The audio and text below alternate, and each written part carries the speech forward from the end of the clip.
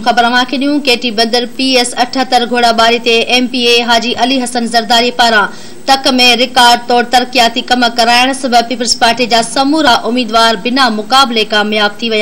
तक जे अवाम पारां M P A Ali Hasan Zardari खे भरपूर मोट सबबि town committee ॻाढ़ू town committee Ghorabari, union council Mahal, union council Andu ते पीपल्स पार्टी जे समूरनि उम्मीदवारनि बिना मुक़ाबले कामयाबी माणी।